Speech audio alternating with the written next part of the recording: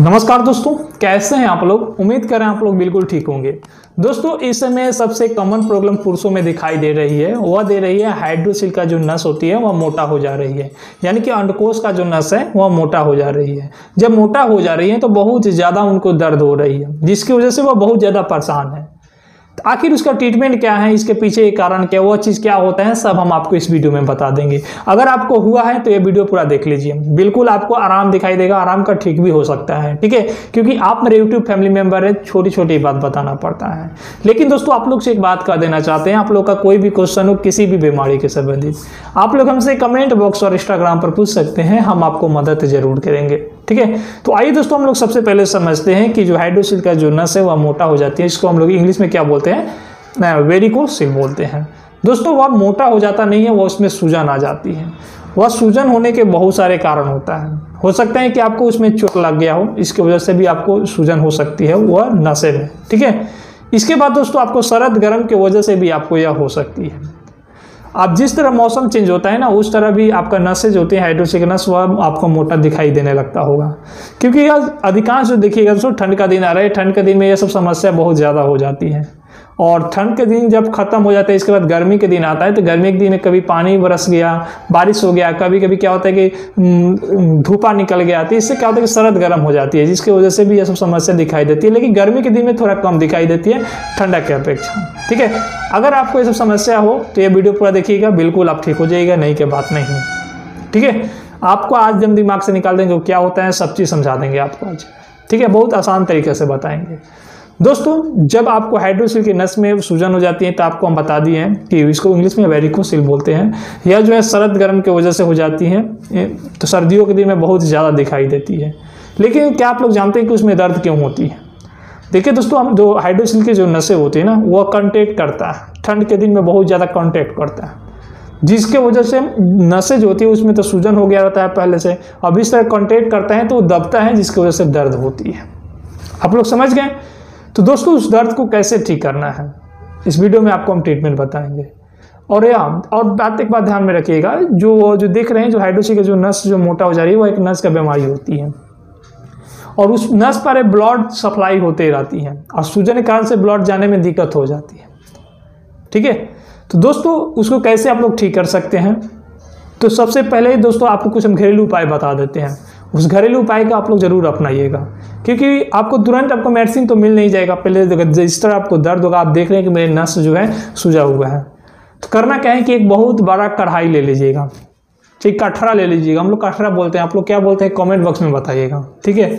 उसमें गर्म पानी डाल दीजिएगा। यानी उतना गर्म पानी जितना आपका बॉडी सह जाए और उस गर्म पानी में आप बैठ जाइएगा। इससे क्या होगा? जानते हैं? इससे क्या होगा कि देखिए, गर्म पानी रहेगा। तो जो ठंड के वजह से आपका कांटेक्ट एकदम स्टार्ट कर दिया है नस से, इसलिए करते हैं क्योंकि वह गर्म रहे, क्योंकि ब्लड जाता है, ठीक है? ठंड से ब्लड जमने का चांस होता है तो वह कांटेक्ट करने लगती है कि ब्लड सही से पास करे। तो उसके लिए गर्म की ज़रूरत पड़ती है तो वही गर्म के लिए ही कांटेक्ट करता है। तो जिसकी वजह से दर्द होती है तो बहुत ज़्यादा आप छटपटाने लगते हैं। तो इसीलिए दोस्तों क्या करें गर्म पानी में आप बैठ जाइएगा तो क्या होगा कि कॉन्टेक्शन जो है वो कम हो जाएगा, नस का। तो आप लोग देखिएगा तुरंत आपको आराम दिखाई देगा। लेकिन ठीक होता नहीं है, आराम आपको दिखाई देगा। ठीक है? इसके बाद दोस्तों आप अपना ट्रीटमेंट स्टार्ट कर दीजिएगा। ट्रीटमेंट में कौन सा ट्रीटमेंट स्टार्ट करना है? अगर आप डॉक्टर के पास जाने में सक्षम है तो आप लोग जा सकते हैं। डॉक्टर से दिखाना एक अलग बात होता है, क्योंकि सामना सामने दिखाई दिया जाता है। ठीक है? हम इस वीडियो में लेके मेडिसिन बता देंगे, उससे ज़रूर ठीक हो जाएगा। नस के साथ साथ आपको हाइड्रोसिल में भी बहुत ज़्यादा सूजन हो गया होगा ना।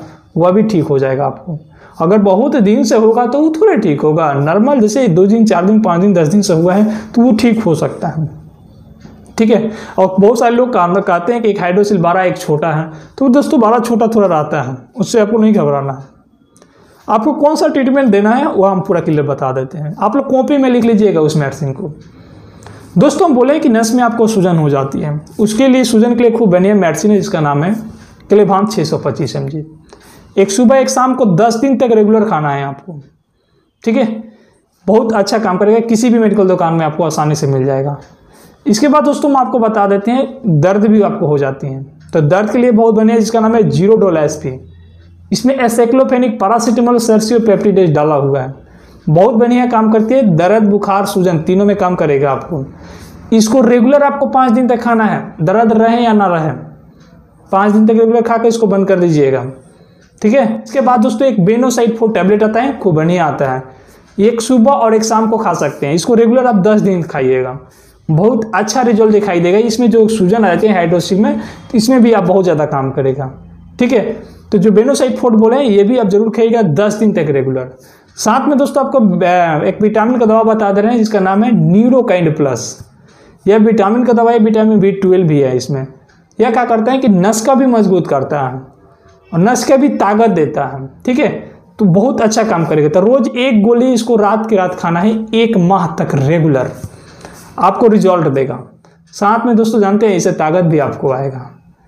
इसके बाद दोस्तों आपको बता देते हैं, दवा जितना बताएँ, इसको गर्मी काटने के लिए आप एक गैस का दवा ले लीजिएगा, जिसका नाम है एसी लॉक आरडी बहुत बढ़िया। है ये रोज एक सुबह एक शाम को खा लीजिएगा। बहुत बढ़िया रिज़ल्ट इसको दिखाई देगा। दोस्तों, आप लोग इतना समझ गए होंगे, बहुत आसान तरीके से बता दिए। उस मेडिसिन को आप लोग लिख लीजिएगा और इस मेडिसिन को खाना स्टार्ट कर दीजिए। अगर आपके पास डॉक्टर हैं तो डॉक्टर का सलाह ज़रूर ले लीजिएगा, ठीक है? जिसके लिए नहीं है, उसके लिए हम बता दिए। और हाँ इससे अगर ठीक नहीं हो रहा है तो किसी सर्जन डॉक्टर से ज़रूर दिखाइएगा, ठीक है? और डॉक्टर साहब से ज़रूर बताइए डॉक्टर साहब, ये सब हम दवा खाएँ हैं। क्योंकि अगिल का डॉक्टर साहब अपना आगा सोचेंगे कि ये सब कोई डॉक्टर साहब यही दवा लिख देंगे आपको। इसलिए ज़रूर बताइएगा। तो चलिए दोस्तों, हम लोग नेक्स्ट वीडियो में मिलते हैं। नमस्कार, जय हिंद, जय भारत।